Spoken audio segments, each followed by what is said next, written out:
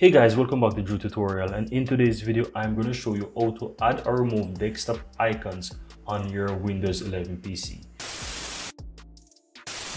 So what you want to do, just simply right click on your Windows computer here on the desktop, right? And click on personalize.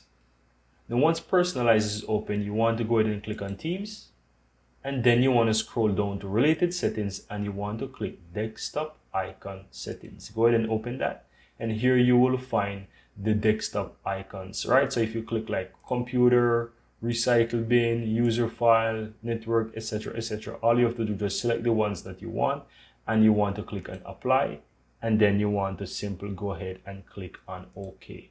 Now once you go ahead and minimize this, you will find the icons here on your computer, right?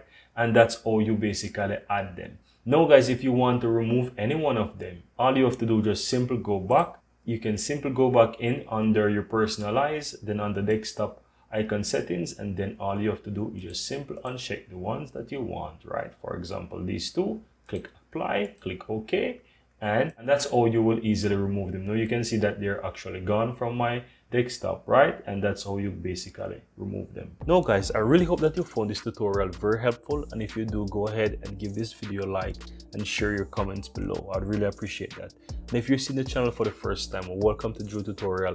I'm Anjo and I really appreciate if you hit the subscribe button below to help grow this community and also so that you'll never miss out when I release another helpful tutorial just like this one. Thank you very much and see you next time.